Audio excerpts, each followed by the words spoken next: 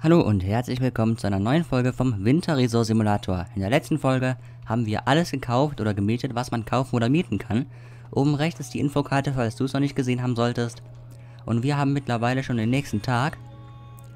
Wie man sieht, wir haben 9.20 Uhr und schon 13.500 Euro Verlust. Ist natürlich nicht gerade gut, aber es geht glaube ich auch schlechter. Alle Bahnen sind schon in Betrieb. Wir können auch mal nachgucken. Hier Seilbahnen. Sieht doch gut aus. Die sind alle auch nicht auf Höchstgeschwindigkeit. Das ist auch schon mal gut. Das heißt, ähm, das heißt, unnötigen Strom zahlen wir keinen. Wir gucken mal, was die ähm, Gäste sagen hier. Okay, wir sind beim Preis bei 45 Euro für das ganze Skigebiet. Das ist, glaube ich, recht angemessen. Seilbahnen sind sehr gut bewertet. Hütten sind gar nicht so gut. Wieso, weiß ich auch nicht. Beliefert sind alle. Wetter ist gut, das können wir aber eh nicht beeinflussen und die Pisten gehen. Wieso die Pisten nicht so gut sind, weiß ich gar nicht. Wo sind denn die Pisten? Hier, Pisten. Sehen doch beide nicht alle ganz gut aus. Naja, kann ich jetzt auch nicht helfen. Wir können aber mal hier nach unten fahren und gucken, ähm, ob da einige Gäste rumlaufen. Oder ob wir das ganze Skigebiet wieder nur für uns betreiben.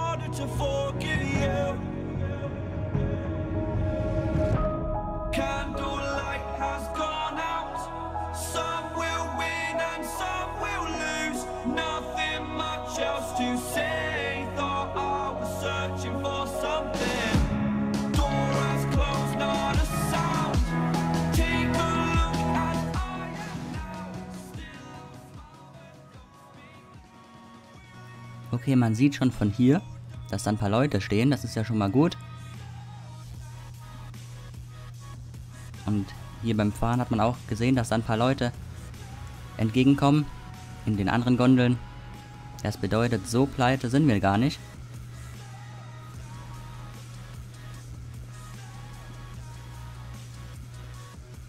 Wie man sieht, wir haben jetzt auch nur noch 6.500 Euro minus an diesem Tag. Vorhin waren es noch über 10.000. Das heißt, Gewinn machen wir schon. Nur die Frage ist, wie viel. Ne? Denn wir müssen natürlich die ganzen Mietkosten decken. Wenn wir mal gucken hier, 376 Karten haben wir heute verkauft. Aber, ähm, ja, die Mietkosten am Ende des Tages sprengen dann schon den Rahmen. Bin ich ganz ehrlich. Denn, äh, denn alle Seilbahnen habe ich natürlich nur gemietet und alle Pisten gehören mir selber. Aber auch dieses Beschicken und diese ständige Gesprenge der Lawinen und dieses Präparieren, das nimmt dann schon ordentlich Geld weg.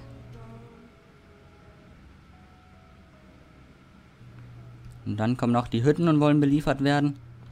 Also da bleibt dann nicht mehr viel für mich über. Wenn ich ehrlich bin, bleibt gar nichts für mich über, glaube ich. Werden wir jetzt sehen. Ich werde dann mal die Zeit ein bisschen nach oben drehen. Und dann gucken wir mal, ob wir Gewinn machen. Aber wir werden jetzt erstmal ähm, die höchste Bahn mal fahren. Die sind wir noch nie gefahren. Denn hier Bahn E, das ist die Stubhornbahn. Die geht ja an die höchste Stelle der ganzen Map. Da werden wir jetzt mal hinfahren. Und dann hier die Piste 10 runterfahren. Die ist extrem steil. Und das werden wir jetzt mal machen. Ich glaube aber, mein Pickup steht sogar daneben. Deswegen einmal reinhüpfen und da sind wir schon. So, die hintere ist die Stubhornbahn, soweit ich weiß. Und damit werden wir jetzt nach oben fahren. Einmal da durch. Ist aber ein bisschen viel Schnee hier, kann das sein? Hallo? Ah.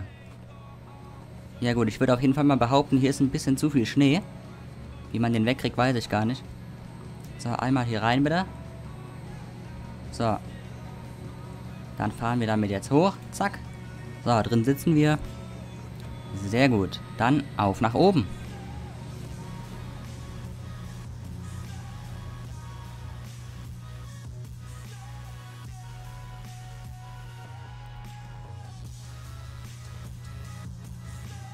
Hier neben uns sieht man schon, wie die Piste verläuft.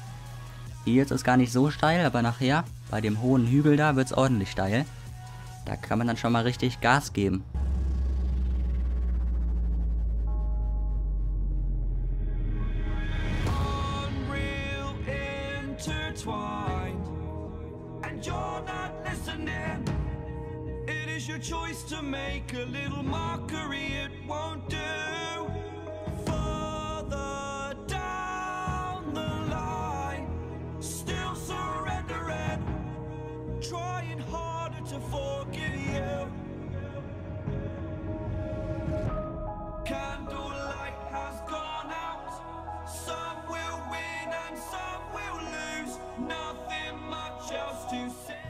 Okay, dann wären wir oben.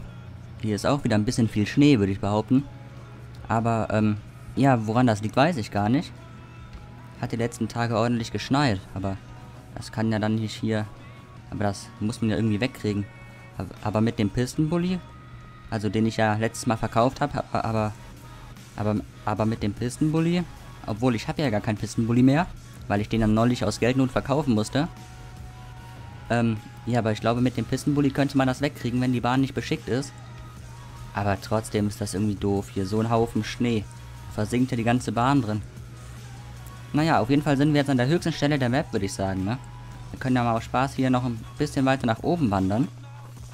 Vielleicht begegnen wir dem Ötzi.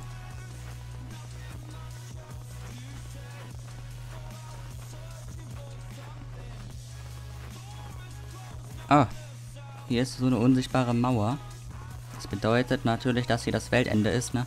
Das da hinten ist nur noch Kulisse, wie im LS19, da ist, kann man ja auch nicht überall hin, ne? Aber gut, ich würde sagen, von hier oben, beziehungsweise von hier, hat man eine sehr gute Aussicht. Hier hat man sogar eine übertrieben gute Aussicht. Hier sieht man ja fast alle Bahnen, oder? Ja, ich glaube sogar ohne Ausnahme. Hier ist natürlich die Stubhornbahn. Dann ist da oben der Kristallexpress, der führt da hoch. Ich glaube, der ist sogar einen Ticken höher, als wir gerade sind. Der führt hier runter und endet da, das blaue Ding. Dann ist hier die Dorfbahn, die führt hier runter ins Dorf. Dann ist hier die Falkeneckbahn. Und wie die Bahn heißt, weiß ich jetzt gerade gar nicht. Moment. Ach so, die Sonnenbahn. Okay, dann ist das noch die Sonnenbahn hier. Und hier vorne läuft die Stubhornbahn. Okay, das ist ja super. Alles auf einen Blick. Finde ich gut. Hat man mal ordentliche Aussichten hier.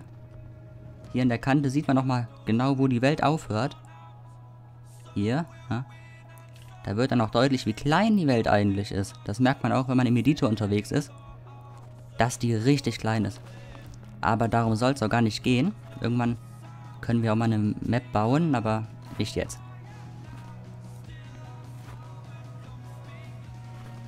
So, dann einmal auf die Skier. So. Und dann... Ach so, ja stimmt, die Steuerung ist natürlich wieder ein bisschen anders. So. Dann, schwarze Piste Nummer 10. Let's go. Wir fahren hier links. Seht ihr mal, wie schnell man hier wird. Und natürlich fährt man normalerweise zickzack. Aber das mache ich ja nie. Denn wir wollen ja schnell werden. Hier sieht man auch überall diese Anker für die äh, Pistenbullis, für die Schneeraupen. Weil das hier wirklich extrem steil ist. Oh, sind wir gerade gesprungen? Meine Güte, das ist ja wirklich eine richtig geile Piste hier. Von ganz oben nach quasi ganz unten.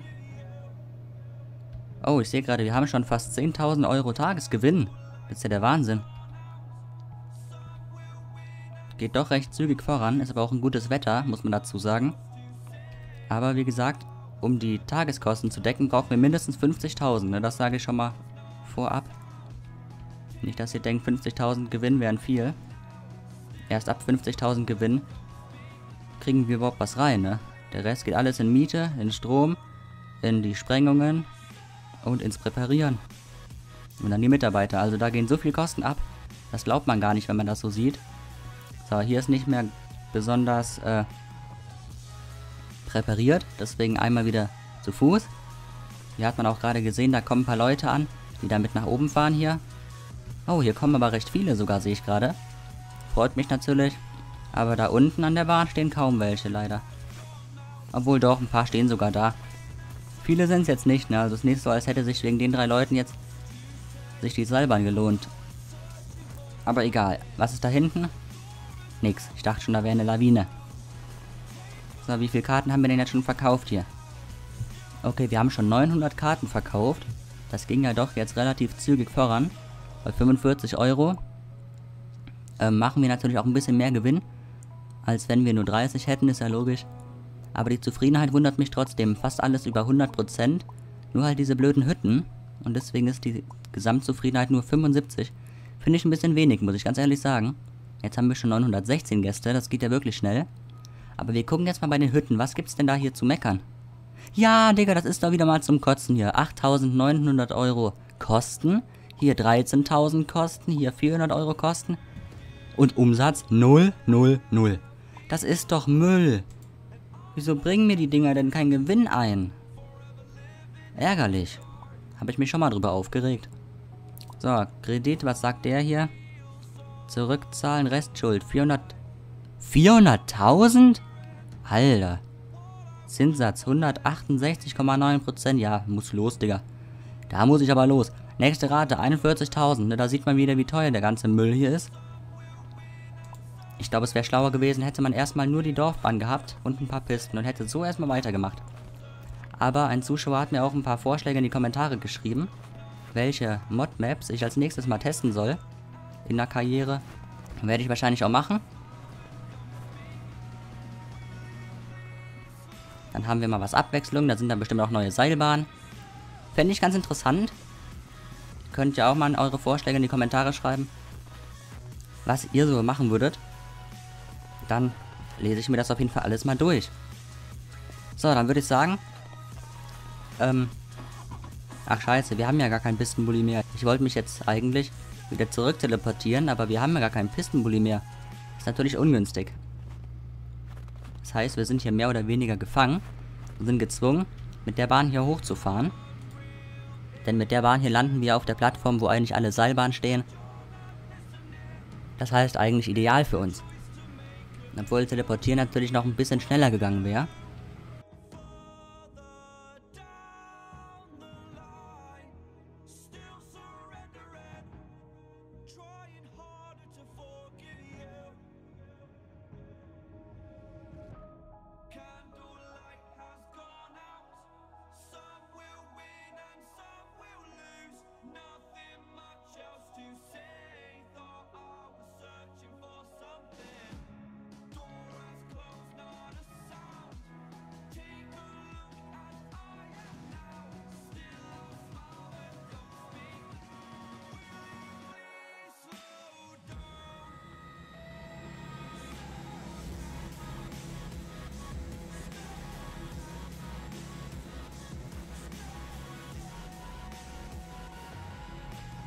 So, jetzt sind wir auch schon auf der Plattform, wo wir hin wollten.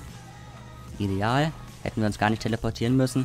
Wäre natürlich trotzdem ein bisschen schneller gegangen. So, dann wollten wir jetzt nochmal gucken hier, wie es bei der Dorfbahn aussieht.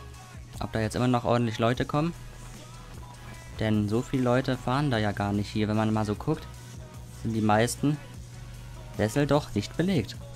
Hier sehe ich auch gerade keinen. Ja doch, hier kommen sogar ein paar. Das ist natürlich gut, aber reicht bei weitem noch nicht aus, um die ganze Miete zu bezahlen. Voll sehen die auch nicht aus, hier die Gondeln. Ach, wird wieder schwierig zu überleben.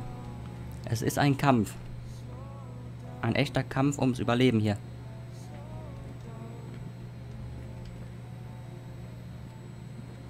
Okay, dann würde ich sagen, war es das auch schon mit diesem Video. Wenn es dir gefallen hat und du mehr vom Winterresort Simulator sehen willst, lass gerne einen Daumen nach oben da und über ein Abo würde ich mich natürlich auch freuen. Dann bis zum nächsten Video und ciao!